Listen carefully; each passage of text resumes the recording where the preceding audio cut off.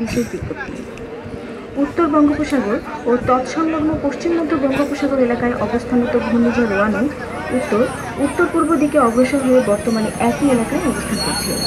এটি আজ সন্ধ্যা ছয়টায় চট্টগ্রাম সমুদ্র বন্দর থেকে আটশো সাত কিলোমিটার দক্ষিণ পশ্চিমে কক্সবাজার সমুদ্র বন্দর থেকে আটশো চল্লিশ কিলোমিটার দক্ষিণ পশ্চিমে মোংলা সমুদ্র বন্দর থেকে ছশো একাত্তর কিলোমিটার দক্ষিণ পশ্চিমে এবং পায়রা সমুদ্র বন্দর থেকে সাতশো পাঁচ কিলোমিটার দক্ষিণ পশ্চিমে অবস্থান করছে এটি আরও ঘনীভূত হয়ে উত্তর উত্তর পূর্ব দিকে অগ্রসর হয়ে আজ বিকাল অথবা সন্ধ্যা নাগাদ বরিশাল থেকে চট্টগ্রাম উপকূল অতিক্রম করতে পারে।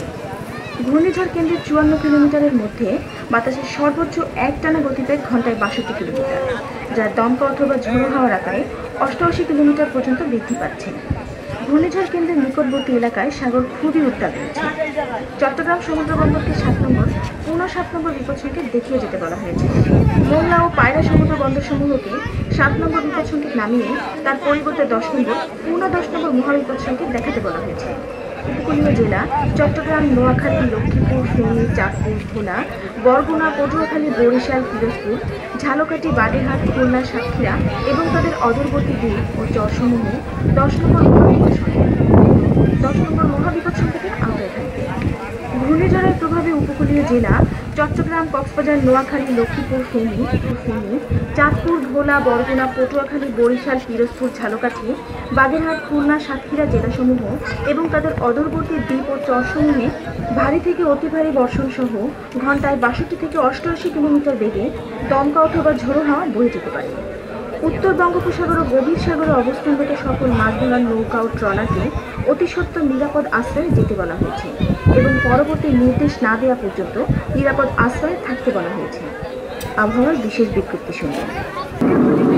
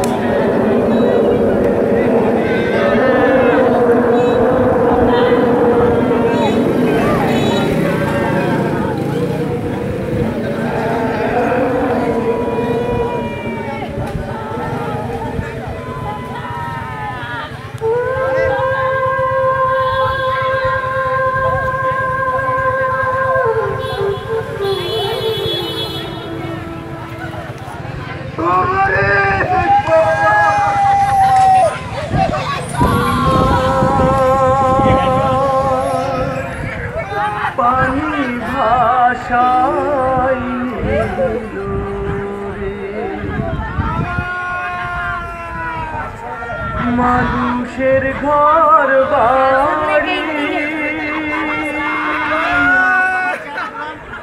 মায়ে কান্দে